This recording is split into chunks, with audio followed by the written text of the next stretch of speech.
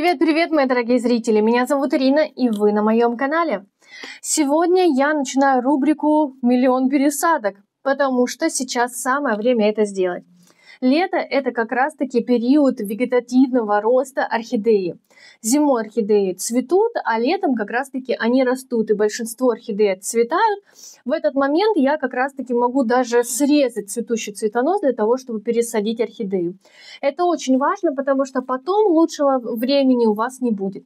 Когда в осень орхидеи повыпускают цветоносы, пересаживать их будет нельзя. Поэтому если у вас есть орхидеи, которые криво растут, которые переросли свои горшки, самое время заняться их пересадкой. Сегодня я буду пересаживать вот такую великолепную орхидею. Сейчас я вам ставлю фотографию, как она зацветет. Безумно красивая, правда? Как вы вообще относитесь к варигатным орхидеям? Пишите свои комментарии, мне будет очень интересно почитать. Сейчас я протру ей листочки, пересажу ее и буду ждать ее цветения. Потому что некоторые орхидеи жируют и не цветут именно из-за того, что они уже давно находятся в одной посадке, и им всего хватает, э, и они вот жируют, жируют, наращивают, гляньте, какие шикарные листья, но не цветут. Точно так же, как моя орхидея Абба. Я ее пересадила, начался еще более активный рост, и я думаю, вот-вот, и она выпустит цветонос. По крайней мере, мне кажется, что в осень точно я дождусь ее цветения. Так же, как и этой варикатной красотки. Первое, что нужно сделать, когда мы пересаживаем орхидею, это ее полить. Для того, чтобы орхидея напиталась, ее корни напитались влагой, они стали более эластичные. И чтобы она с легкостью пережила пересадку, я добавлю в воду аминосил. Аминосил такой препарат, который он и подкисляет, и снабжает всеми микроэлементами орхидею.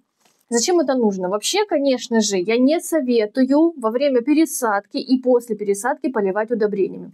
Но аминосил – это совсем другой препарат. Он как раз-таки способствует лучшему усвоению микроэлементов, а также еще как раз-таки снятию стресса после пересадки. Поэтому и до пересадки, и после пересадки можно использовать аминосил как раз-таки, чтобы орхидея быстрее адаптировалась. Я добавляю 2,5 мл на 1 литр чистой теплой водички и прям хорошенечко сейчас за залью орхидею. Это, наверное, единственный случай, когда я заливаю орхидеи. Это вот именно когда я их пересаживаю, чтобы хорошо-хорошо они напитались, и чтобы корни, которые приросли к горшку, они э, размокли и, собственно, отстали от стенок горшка. Надеюсь, я понятно объясняю. Если остаются вопросы, обязательно задавайте их в комментариях. Буду отвечать в последующих видео. И здесь вот я прям наливаю, наливаю водичку,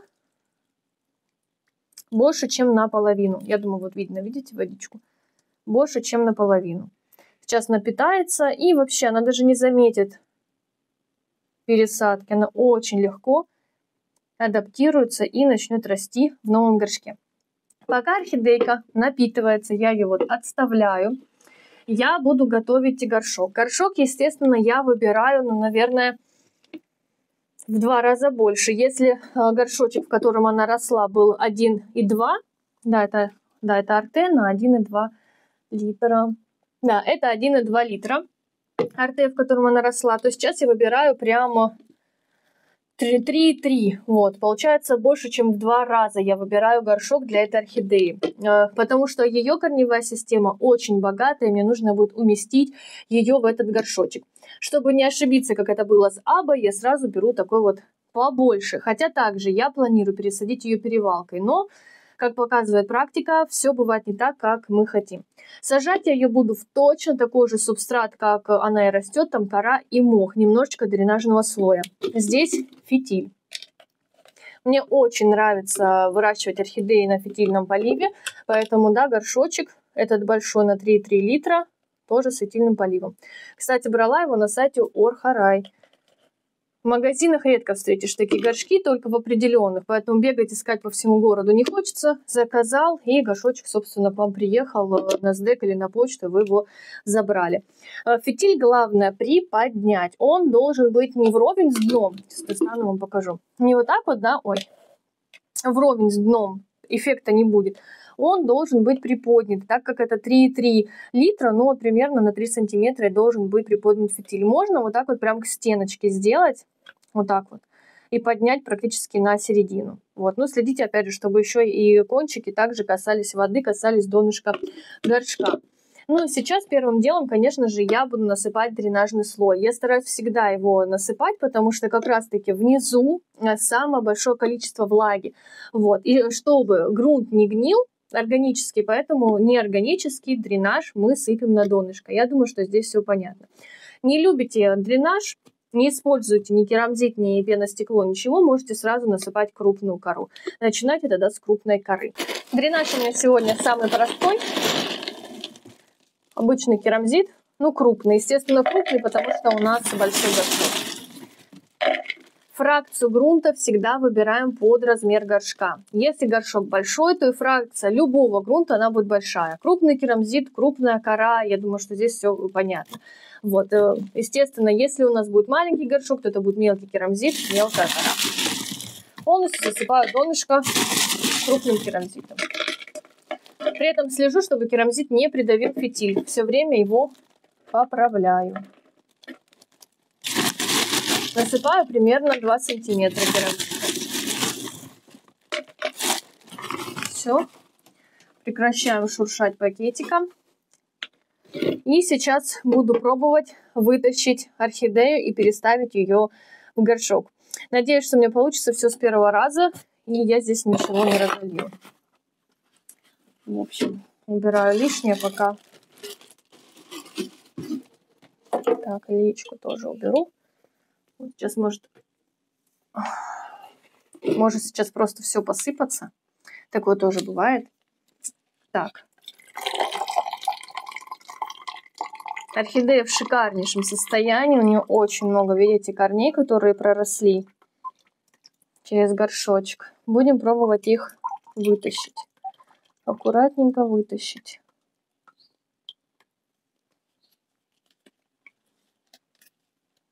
Сейчас попробуем. Обжимаю горшок. Те горшки, которые вот э, поддаются таким манипуляциям, я всегда вот так вот обжимаю. Вот. И буду пытаться вытащить орхидейку. Угу. Да, она хорошо идет. Здесь мне нужно только немножечко освободить корни. Здесь вот дырочки, видите, они попрорастали вот в этой сеточке. Поэтому здесь нужно сейчас э, будет разрезать обычными ножничками для орхидей. Пока я тут мучаюсь, можно как раз таки сделать ставки, получится у меня или нет, потому что кто смотрел пересадку с Абой, помнит, что мне пришлось потом ехать и искать пятилитровый горшок, потому что в этот горшочек просто не поместилась, да, в тот горшок, который я заготовила. Вот здесь не знаю, опять же, поместится или нет. Можете свои предположения написать в комментариях, будет очень интересно почитать. Так, все, освободила я здесь корни. Можно пробовать заново. Угу, угу, угу. Идут, идут, отлично, отлично, отлично. Чуть-чуть зацепляются. Все, все. О, супер, Супер. Кстати, здесь у меня дренажный слой был пеностекло. Кора очень хорошей фракции, вот для этого горшка. Видите, прям такие хорошие кусочки коры. В идеальном состоянии осталась кора. Супер, мне очень нравится. И сверху был прям такой толстый слой мха. Сверху есть, вот так я ее устанавливаю. Мне кажется, идеально подходит. Естественно, нужно установить ее максимально ровно, чтобы она была.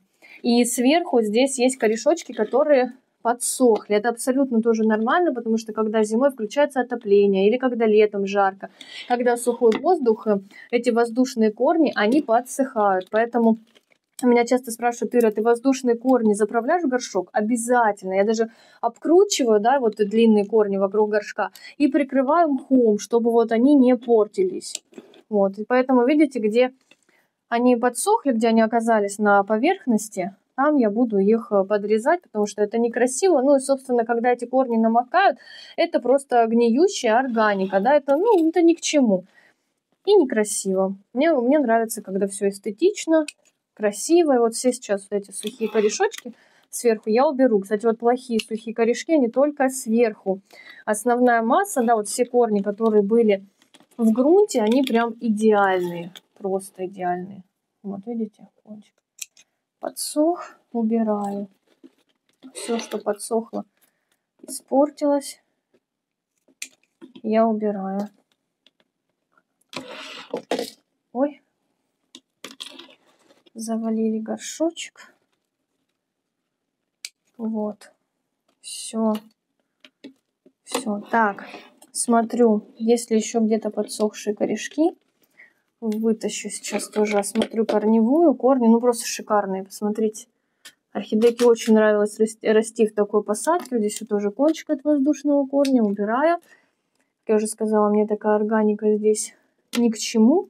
Вот теперь обязательно поправляю фитиль. И устанавливаю орхидейку максимально ровно, насколько это будет возможно. Корни при этом я не разбираю, ничего не делаю, просто вот у меня в этот раз получилось все-таки перевалкой. Вот. Максимально ровно стараюсь установить. И беру кору. И корой... Так, сейчас я это все поубираю лишнее. Вот. Кора крупной фракции у меня, и корой я стараюсь ее зафиксировать, чтобы она не шаталась. Вот чтобы она прям четко-четко стояла в этом горшке.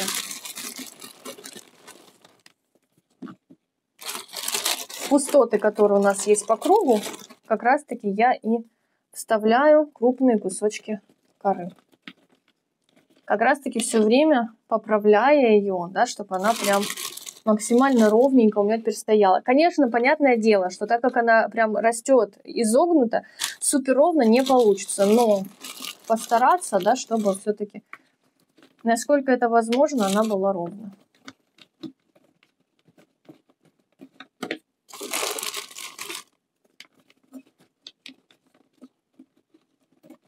Все, и распределяю пальчиками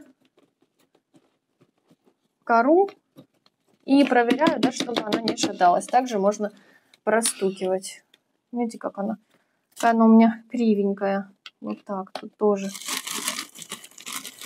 Вот, видите, прям большие кусочки коры. Пустоты я вставляю. Также корни, которые воздушные, все-все-все заправляю вовнутрь, в горшочек, чтобы они не сохли и питали растения. Вот так. Ничего сложного нет в пересадке орхидеи именно перевалкой. Конечно, это достаточно просто. Вытащил, поставил и пустоты засыпал хороший король.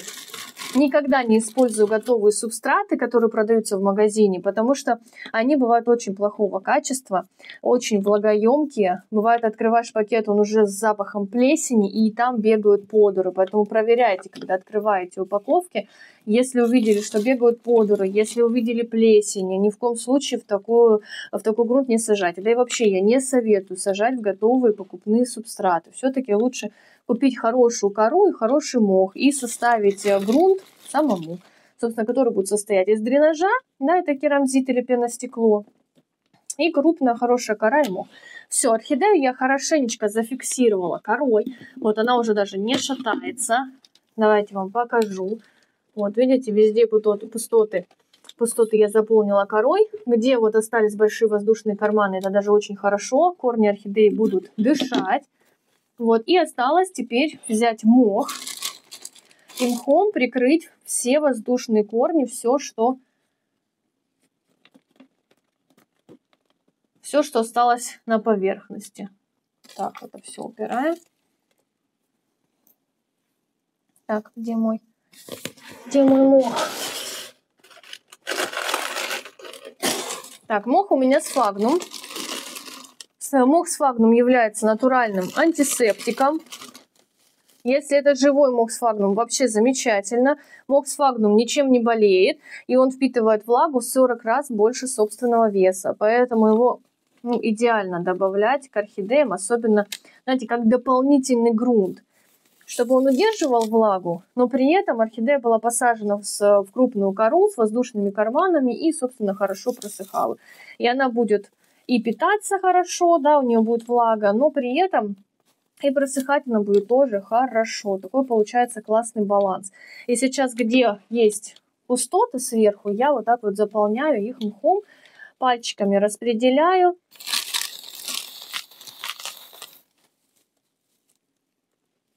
Вот так, прям везде-везде распределяю.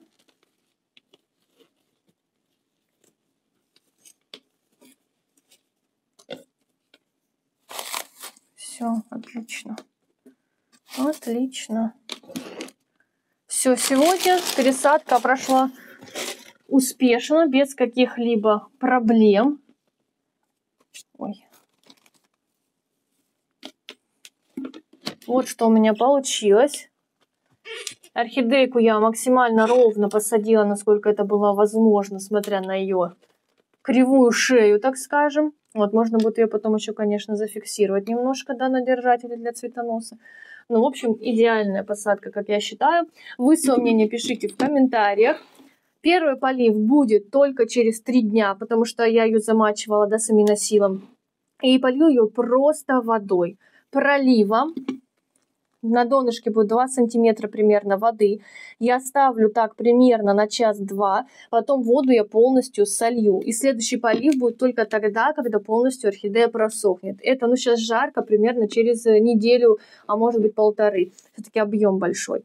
И точно так же я буду проливать по кругу, пока не будет 2 сантиметра воды. Потом, опять же, также 2 часа орхидея будет стоять. И потом я буду опять лишнюю воду сливать. И примерно на четвертый раз я начну водичку оставлять. Оставлять сначала на 1 сантиметр, да, а с последующими поливами я буду водичку увеличивать. И все, и орхидея уже привыкнет к автополиву, на поли, э, к поливу на фитиле и будет прекрасно себя чувствовать, и воду можно будет тогда уже не сливать. Важный нюанс. Если у вас холодный подоконник зимой, то обязательно воду нужно сливать и поливать через просушку. Если дома тепло или даже жарко, то воду можно оставлять всегда. Особенно сейчас, когда лето, мне очень нравится такая система посадки. Я спокойно могу налить воды, уехать на долгое время. Орхидейки, я знаю, что они меня дождутся. Вот такая сегодня получилась пересадка прекраснейшей варигатной орхидеи. Если вам понравилось, ставьте пальчики вверх, делитесь этим видео с друзьями. Ну а я с вами буду на этом уже прощаться. Всегда ваша Ирина Давтян.